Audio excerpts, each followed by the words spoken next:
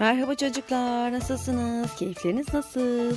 Evet, sizinle şimdi bir de kabak hasadı yapalım. Kışlık kabağımızın, bal kabağımızın hasadını yapalım dedim.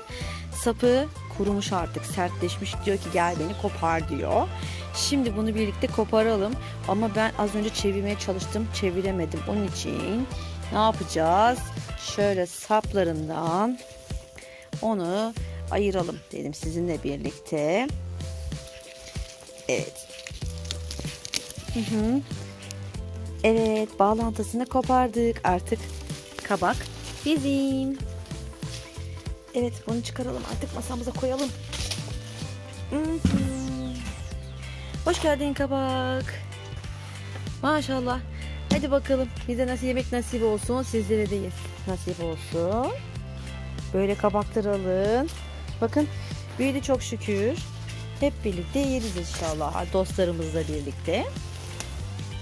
Burada da küçük var bakalım. Bunun sapı daha yeşil.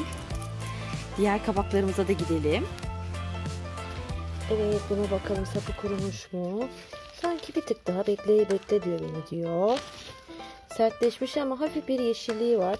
Buna bir tak daha bekleyelim. Bir hafta daha bekleyelim. Ondan sonra koparalım. Evet çocuklar bugün hasat yaptık sizinle kabak hasadı. Görüşürüz. Kendinize iyi bakın. Seviyorum sizleri.